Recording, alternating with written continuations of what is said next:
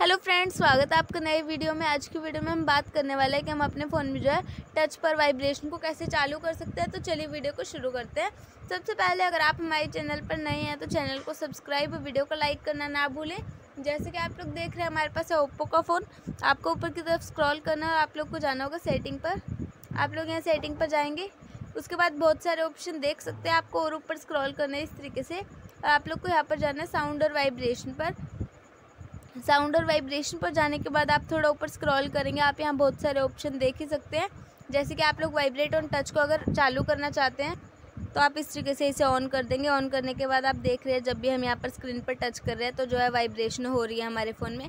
इस तरीके से जो आप लोग अपने फ़ोन में वाइब्रेशन को जो है चालू कर सकते हैं टच पर तो उम्मीद है फ्रेंड आपको वीडियो पसंद आई होगी। वीडियो पसंद आई है तो चैनल को सब्सक्राइब और वीडियो को लाइक करना ना भूलें।